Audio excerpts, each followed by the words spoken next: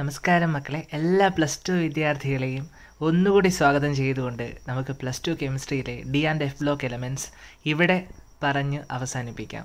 എല്ലാ വിദ്യാർത്ഥികളും കെയർഫുള്ളായിട്ട് ശ്രദ്ധിച്ചിരിക്കുക. D and F block elements ഒരു ചെറിയ ചാപ്റ്ററാണ് നമുക്ക് നോക്കാം. ഡി ബ്ലോക്ക് എലമെന്റ്സ് എന്താണ് ഡി ബ്ലോക്ക് എലമെന്റ്സ് ഗ്രൂപ്പ് മൂന്ന് മുതൽ പന്ത്രണ്ട് വരെ കാണപ്പെടുന്ന three D transition series four D transition series five D transition series നമുക്കപ്പോൾ ഡയറക്റ്റ് ക്ലാസ്സിലേക്ക് കയറാം. എല്ലാ വിദ്യാർത്ഥികളും മാക്സിമം ഷെയർ ചെയ്ത് മറ്റുള്ള വിദ്യാർത്ഥികളിലൂടെ എത്തിക്കുക. ഇതേ ത്രീ ഡി ട്രാൻസിഷൻ സീരീസ് ഒക്കെ ജസ്റ്റ് അറിഞ്ഞിരുന്നാൽ മതി. Scandium titanium vanadium chromium manganese cobalt nickel copper zinc atomic number ഇരുപത്തൊന്ന് ഇരുപത്തിരണ്ട് ഇരുപത്തിയൊന്ന് ഇരുപത്തിനാല് ഇരുപത്തഞ്ച് ഇരുപത്താറ് ഇരുപത്തേഴ് ഇരുപത്തെട്ട് ഇരുപത്തൊമ്പത് മുപ്പത്. എന്തിനാ ഇങ്ങനെ പറഞ്ഞതെന്ന് വെച്ചാൽ ഇതിന്റെയൊക്കെ ഇലക്ട്രോണിക് കോൺഫിഗറേഷൻ കണ്ടുപിടിക്കാനൊക്കെ എളുപ്പമാണ്. സ്കാൻഡിയം ആകുമ്പോൾ ഡി വൺ എസ് ടു ഇത് D two S two D three S two D four S two അല്ല ഡി ഫൈവ് എസ് വൺ അപ്പോൾ അതിന്റെ ക്രോമിയത്തിന്റെയും കോപ്പറിന്റെയും സബ്ഷൽ ഇലക്ട്രോണിക് കോൺഫിഗറേഷനൊക്കെ എഴുതാൻ അറിയാമല്ലോ.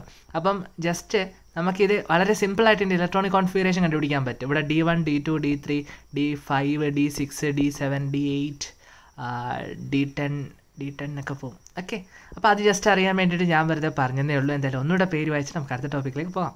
Scandium titanium vanadium chromium manganese and cobalt nickel copper zinc ഇവർക്ക് കുറേ അധികം പ്രത്യേകതകളുണ്ട്. ആ പ്രത്യേകതകളാണ് നമ്മളിനി ഡിസ്കസ് ചെയ്യാൻ പോകുന്നത്. നമുക്കപ്പോൾ നോക്കാം. General outer electronic configuration N minus one D one two ten N S one two two ഭാഗ്യമുണ്ടെങ്കിൽ ഒരു മാർക്കിന് ചോദിക്കാൻ സാധ്യതയുള്ള ഒരു ക്വസ്റ്റൻ ആയത്. എന്തായാലും നോക്കി വെച്ചോ.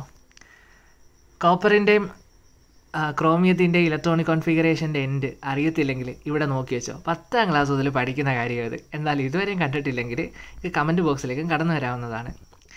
പിന്നെ സിങ്ക് കാഡ്മിയം മെർക്കുറിക്ക് ഡി ടെൻ കോൺഫിഗറേഷൻ ഉണ്ട്. അതുകൊണ്ട് അവരെ ഡി ബ്ലോക്ക് എലമെന്റ് ആയിട്ട് കൺസിഡർ ചെയ്യത്തില്ല. They are not regarded as D block element at neutral state അപ്പം അയണൈസ്ഡ് സ്റ്റേറ്റിൽ അവരെയും ഉൾപ്പെടുത്തുന്നുണ്ടേ.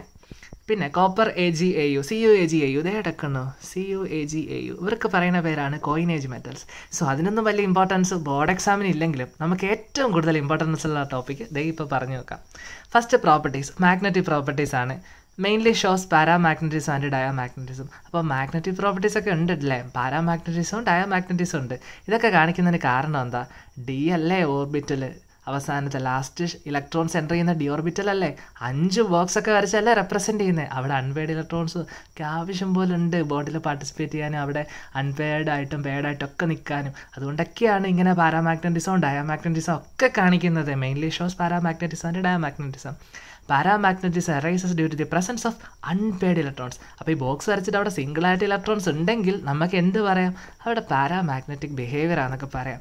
Each unpaired electron associated with spin magnetic moment and orbital magnetic moment the orbital magnetic moment orbital magnetic moment gets cancelled each other and spin magnetic moment mu is equal root of N into N plus two n plus 2 Bohr magneton n എന്ന് വെച്ചാൽ unpaired electrons എന്ന് വെച്ചാൽ ഇതിലൂടെ പറയാൻ ഉദ്ദേശം എന്താ? ഇവിടുത്തെ spin only magnetic moment കണ്ടുപിടിക്കാനുള്ള ഇക്വേഷൻ ആണത്. അപ്പോൾ n എന്താ? നമ്പർ ഓഫ് അൺപെയ്ഡ് ഇലക്ട്രോൺസ് അപ്പോൾ അത് വെച്ചുള്ള ഒരു പ്രോബ്ലം നമുക്ക് ഡിസ്കസ് ചെയ്യണ്ടേ? ഇപ്പം ടൈറ്റാനിയം പ്ലസ് ടൈറ്റാനിയം എന്ന് പറയുമ്പോൾ ഇവിടെ രണ്ടാമത്തെ ആൾ കണ്ടോ? അപ്പോൾ D two S two configuration titanium plus two ആ. ടൈറ്റാനിയം എന്ന് പറയുമ്പോൾ D two S two configuration അതായത് three D two four S two titanium plus two ആകുമ്പോഴോ അവിടെ ഫോർ എസ് ടുവിൽ രണ്ട് ഇലക്ട്രോൺസ് പോയി. പിന്നെ ത്രീ ഡിയിൽ രണ്ട് ഇലക്ട്രോൺസ് ഉണ്ട്. അത് രണ്ടും രണ്ട് ബോക്സിൽ സിംഗിൾ ആയിട്ടല്ലേ ഇരിക്കുന്നത് അപ്പോൾ നമ്പർ ഓഫ് അൺപെയ്ഡ് ഇലക്ട്രോൺസ് എത്ര? ടു അല്ലേ? When n is equal two അല്ലേ? അവിടുത്തെ സ്പിന്നോളി മാഗ്നറ്റിക് മൊമെന്റ് എത്ര? Mu is equal root of N into N plus two root of two into two plus two root of four into eight root of eight root eight Bohr magneton ആണ് അവിടുത്തെ spin only magnetic moment simple അല്ലേ പറയുന്നത് yes അത്രേ ഉള്ളൂ. അടുത്ത second വേണം പഠിക്കാൻ എന്താ? ഫോർമേഷൻ ഓഫ് കളേർഡ് കോമ്പൗണ്ട്സ് അപ്പോൾ D block elements coloured compounds കാണിക്കുന്നുണ്ട്. അതിനെക്കുറിച്ച് അറിയണ്ടേ? യെസ് എല്ലാവരും നോക്കിക്കോ. Most of the transition metal ions or compounds are coloured because of the presence of partially filled D orbitals അപ്പോൾ പാർഷ്യലി ഫിൽഡ് ഡി ഓർബിറ്റൽസ് ഉണ്ടായതുകൊണ്ടിട്ടാണ് ഇവർ coloured compounds ഉണ്ടാക്കുന്നത്. Most of the transition metal ions or compounds are coloured because of the presence of partially filled D orbital simple sentence അല്ലേ? The electrons from D orbitals are excited to higher energy levels when it absorb energy and it's emitted come complementary colour of the light is absorbed അപ്പോൾ എന്താ? ഇവിടെ d orbital partially ഫിൽഡാണ് അവിടെ energy കിട്ടുമ്പം electrons higher സ്റ്റേറ്റിൽ പോയി അതിന്റെ complementary colour emit ചെയ്യുന്നു. സിമ്പിൾ കോൺസെപ്റ്റാണ് ഇതെവിടെ പഠിക്കുന്നതാണ് നമ്മൾ പ്ലസ് വണ്ണിൽ സ്ട്രക്ചർ ഓഫ് ആറ്റം ആ ടോപ്പിക്കിലൊക്കെ പഠിക്കുന്ന കാര്യമാണിത്. അതായത് ആറ്റത്തിൽ കളർ ഉണ്ടാകുന്നതിന് കാരണം അവിടെ എനർജി കിട്ടുമ്പോൾ ഇലക്ട്രോൺസ് ഹയർ സ്റ്റേറ്റിൽ പോകുന്നുണ്ടെന്നും അവിടെ അബ്സോർബ് ചെയ്ത കളറിന്റെ കോംപ്ലിമെന്ററി കളർ എമിറ്റ് ചെയ്തിട്ട് തിരിച്ച് ലോവർ സ്റ്റേറ്റിലേക്ക് ഇലക്ട്രോൺസ് വരുന്നു എന്നൊക്കെ പറഞ്ഞു പഠിച്ചത് ഇപ്പോഴൊന്നും അല്ല. പ്ലസ് വണ്ണിൽ പഠിച്ച ടോപ്പിക്കാണ് അല്ലേ? അത് വെച്ചിട്ട് ഒരു കേസ് സ്റ്റഡി പോലെ ഇവിടെ കൊടുത്തിട്ടുണ്ട്. T I plus two titanium plus two എന്ന് പറയുന്നത് കളേർഡാണ് ടൈറ്റാനിയം ഫോർ പ്ലസ് എന്ന് പറയുന്നത് കളർലെസ് ആണ്. Because titanium four plus has no partially filled D orbitals ഇപ്പോൾ നമ്മൾ സ്കാൻഡിയം ടൈറ്റാനിയം ടൈറ്റാനിയം എന്ന് പറയുമ്പോൾ ഡി ടു എസ് ടു ആണെന്ന് ഓൾറെഡി നമ്മളിപ്പോൾ പറഞ്ഞ് പഠിച്ചിട്ടുണ്ട്.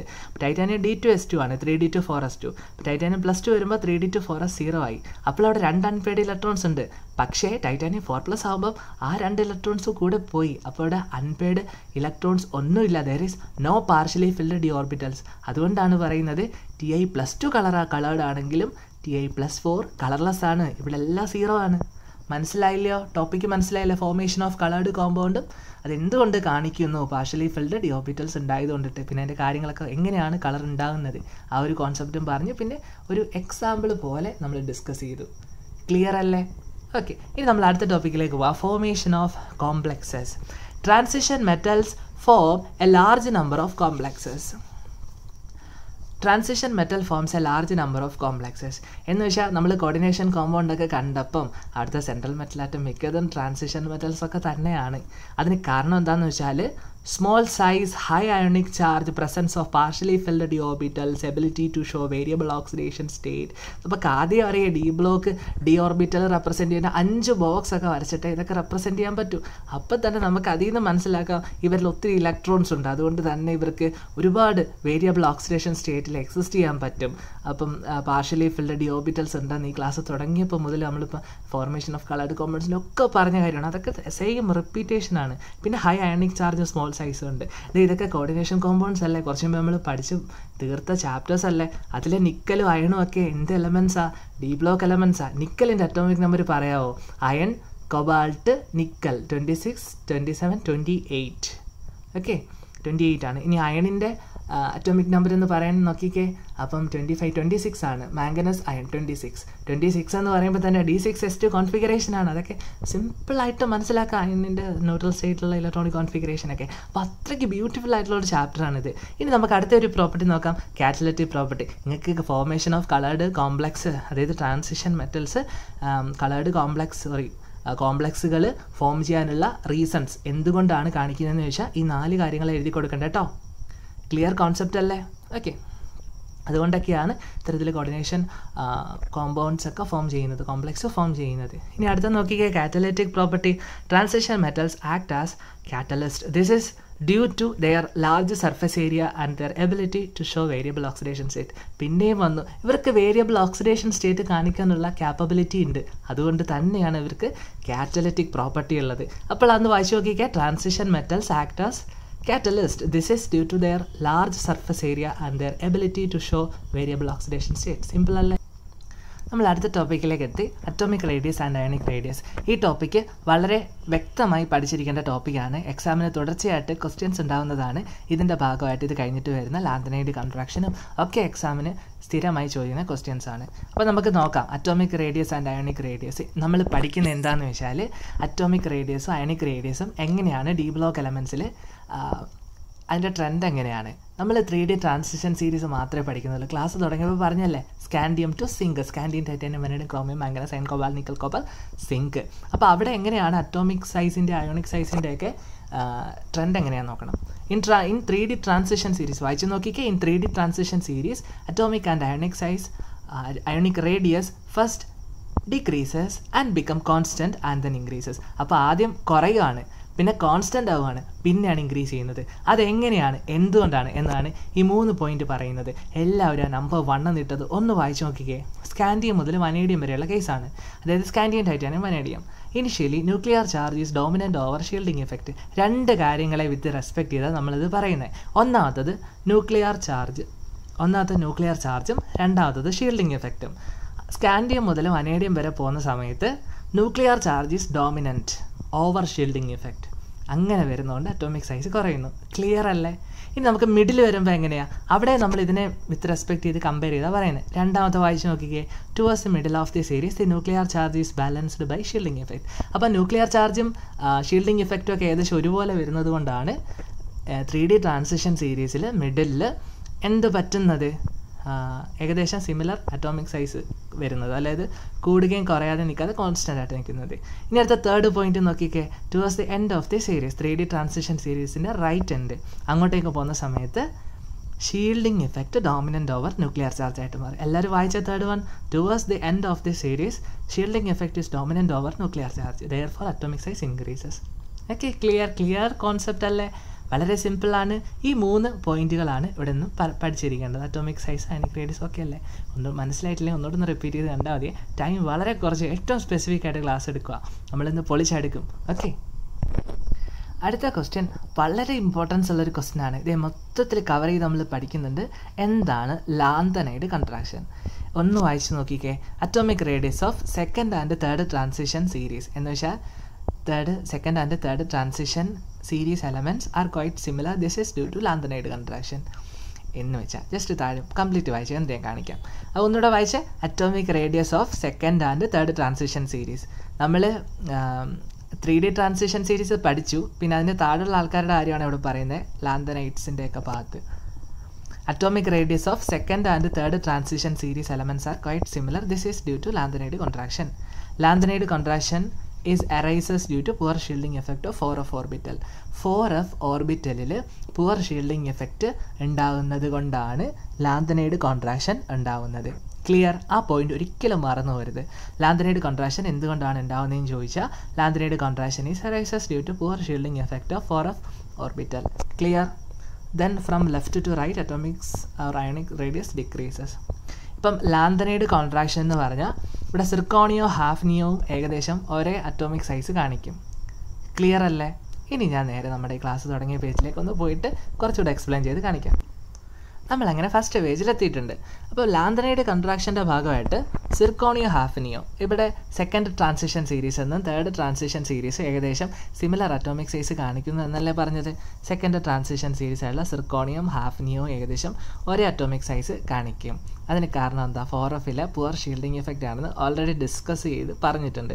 അപ്പോൾ ലാന്തനൈഡ് കോൺട്രാക്ഷൻ കൊണ്ടിട്ട് സെക്കൻഡ് ട്രാൻസിഷൻ സീരീസും തേർഡ് ട്രാൻസിഷൻ സീരീസിലും സിമിലർ ആയിട്ട് വരുന്ന ആൾക്കാരാണ് ഒരേപോലെയുള്ള അറ്റോമിക് സൈസ് കാണിക്കുന്നത്. എക്സാമ്പിൾ സിർക്കോണിയോ ഹാഫ്നിയോ സിമിലർ അറ്റോമിക് സൈസ് കാണിക്കും. പിന്നെ നയോബിയോ ടെൻഡാലോവും സിമിലർ അറ്റോമിക് സൈസ് കാണിക്കും. പിന്നെ മോളിബ്ഡിനോ ടങ്സ്റ്റനും സിമിലർ അറ്റോമിക് സൈസ് കാണിക്കും.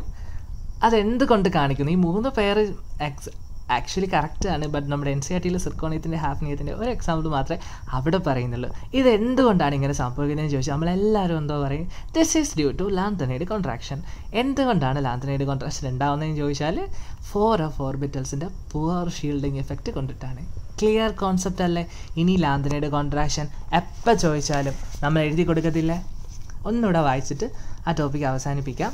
ലാന്തനൈഡ് കോൺട്രാക്ഷൻ അറ്റോമിക് റേഡിയസ് എല്ലാവരും വായിച്ച്? Atomic radius of second and third transition series elements are quite similar this is due to lanthanide contraction Lanthanide contraction is arises due to poor shielding effect of 4 of orbital. Then from left to right atomic radius, ionic radius decreases. അതുകൊണ്ടാണ് സിർക്കോണിയ ഹാഫ് ന്യൂവും ഏകദേശം similar atomic size കാണിക്കുന്നത്. ഏകദേശം zirconia hafnium നോക്കുമ്പോൾ ഹാഫ് ന്യൂത്തിന്റെ സൈസ് കൂടി വരേണ്ടതാണ്. പക്ഷേ ഏകദേശം സിമിലർ ആയിട്ട് വന്നത് എന്തുകൊണ്ടാണ്? അവിടുത്തെ ഫോർ ഓഫ് ഓർബിറ്റലിന്റെ പുവർ ഷീൽഡിംഗ് എഫക്റ്റ് കൊണ്ടാണ്. ക്ലിയർ കോൺസെപ്റ്റ് അല്ലേ ലാന്ത്രനൈഡ് കോൺട്രാക്ഷൻ ഇനി മറക്കുമോ ഇല്ലല്ലോ. ഇനിയിപ്പം അടുത്തത്. Applications of D and F block എലമെൻസാണ് ഒത്തിരി എക്സാമ്പിൾസ് ഉണ്ട്. ജസ്റ്റ് ഒന്ന് വായിച്ചു നോക്കിക്കേ.